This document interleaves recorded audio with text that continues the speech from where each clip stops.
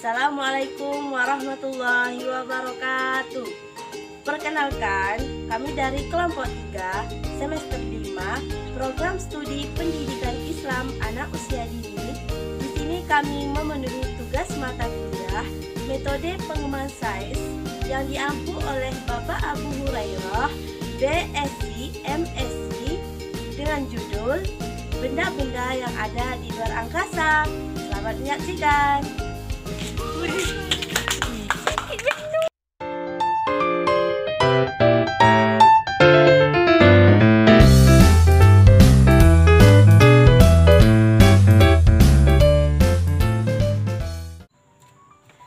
teman-teman semuanya, saya akan menjelaskan benda-benda di luar angkasa, yaitu salah satunya adalah bumi.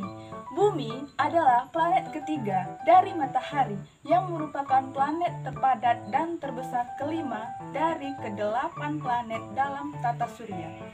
Bumi juga merupakan planet terbesar dari keempat planet kebumian tata surya. Bumi terkadang disebut dengan dunia atau planet biru. Planet Bumi merupakan satu-satunya planet yang dihuni oleh manusia. Manusia yang hidup di bumi ini bernapas dengan menghirup oksigen. Dan sebagian besar oksigen berasal dari hutan-hutan yang rimbun yang ada di bumi ini.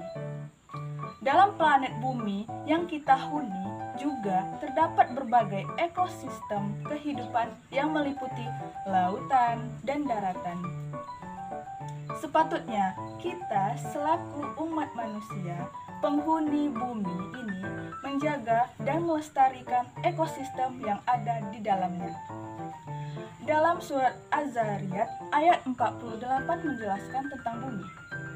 Bismillahirrahmanirrahim Wal ardo farosnaha fani'mal mahidun Artinya, dan bumi kami hamparkan, maka kami sebaik-baiknya yang telah menghamparkannya.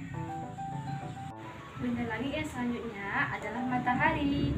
Matahari terbit dari arah timur dan terbenam ke arah barat. Matahari banyak manfaatnya loh, seperti sumber cahaya yang menerangi bumi dan juga sumber kehidupan bagi kita makhluk hidup seperti manusia, hewan, dan tumbuhan. Matahari juga bermanfaat bagi kehidupan sehari-hari seperti mengeringkan pakaian. Dan matahari juga mengandung vitamin yaitu vitamin D. Vitamin D ini yang bagus untuk kesehatan tulang. Sebagaimana dalam Al-Qur'an surah Asy-Syam ayat 1 sampai 2 yang bunyinya A'udzu billahi minasyaitonir rajim. Bismillahirrahmanirrahim. Wasyamsi waduhaha wal qamari idza talaha.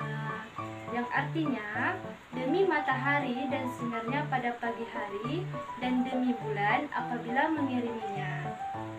Baiklah, di sini saya akan menjelaskan tentang bintang. Bintang cahayanya muncul saat langit gelap.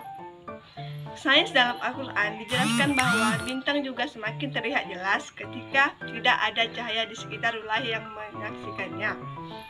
Namun ternyata dengan bantuan teleskop raksasa, para ilmuwan bisa mengetahui terdapat ratusan bintang mati setiap jam. Sebelum mati, bintang itu sinarnya tiba-tiba bertambah terang, bahkan mencapai ratusan ribu kali terangnya matahari, dan ukuran pun membesar ribuan kali meter per detik. Rasulullah SAW bersabda, bintang-bintang itu adalah para penghuni langit. Apabila bintang, bintang apabila bintang itu lenyap, maka terjadilah pada langit itu apa yang telah dijanjikan. Aku adalah penjaga para sahabat-sahabatku. Bila aku tiada, maka akan menimpa mereka apa yang telah mereka janjikan. Selanjutnya ada bulan. Bulan adalah satelit alam bumi satu-satunya merupakan satelit terbesar di dalam tata surya. Bulan diperkirakan terbentuk sekitar 4,5 miliar tahun yang lalu, tak lama setelah pembentukan bumi. Di dalam surah Al-An'am ayat 96 Bismillahirrahmanirrahim. Falikul isbah wa ja'alal laila sakanan was-samsa wal qamara husbana. Zalika taqdirul azizil alim. Yang artinya dia menyingsingkan pagi dan menjadikan malam untuk beristirahat dan menjadikan matahari dan bulan untuk perhitungan. Itulah ketetapan Allah yang Maha Perkasa, Maha Mengetahui. Thank you